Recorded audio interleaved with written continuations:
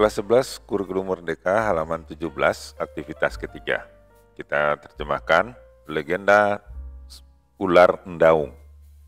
Nah, dahulu kala di lereng gunung di Provinsi Jambi hiduplah seorang ibu miskin, ibu yang seorang ibu yang miskin dan tiga putrinya.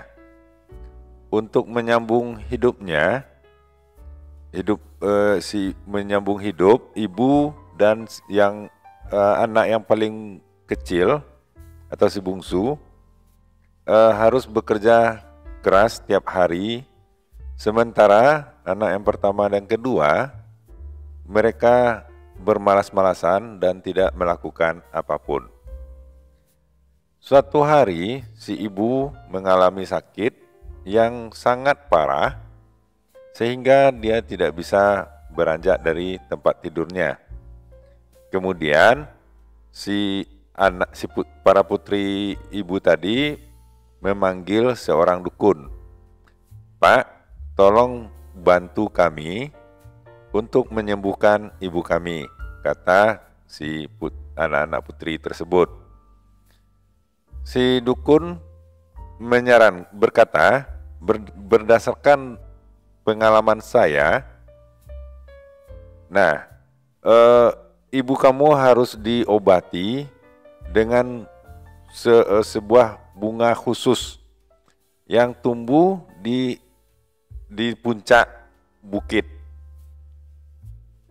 atau dibuka di puncak gunung. Kemudian bunga itu harus direbus dalam sebuah panci ajaib ya panci ajaib yang di, dijaga yang disimpan ya, disimpan di gua gelap yang dalam yang dijaga oleh ular besar perkasa yang bernama Ndaung. Tapi menurut cerita ya menurut uh, ya cerita tidak ada yang bisa kembali ke rumah sedengan selamat.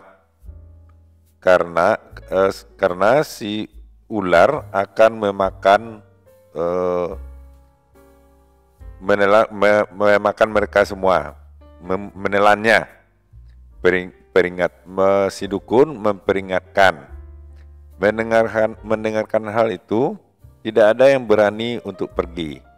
Kecuali ya, except kecuali si uh, putri yang paling bungsu, paling kecil.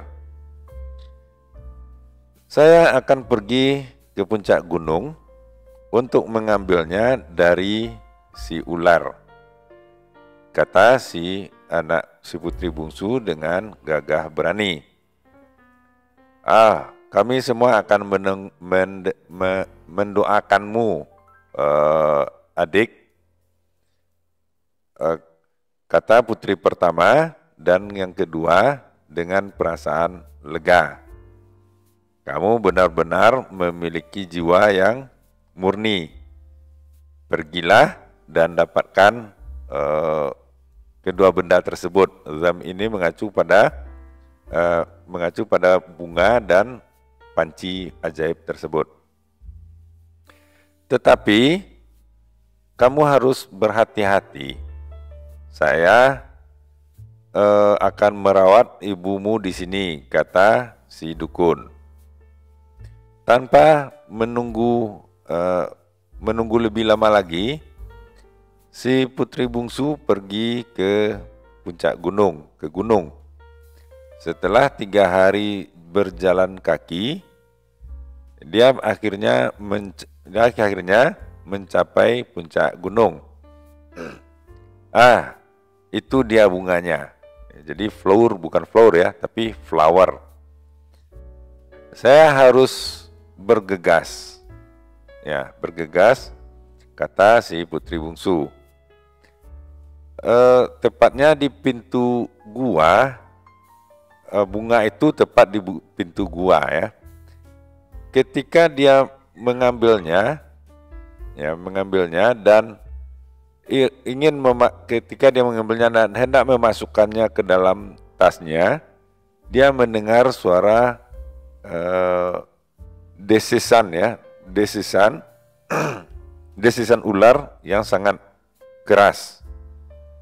Tentu saja dia ketakutan setengah mati. Nah, itu dulu untuk kali ini. Kita bersambung untuk uh, di halaman berikutnya. Terima kasih, sampai jumpa.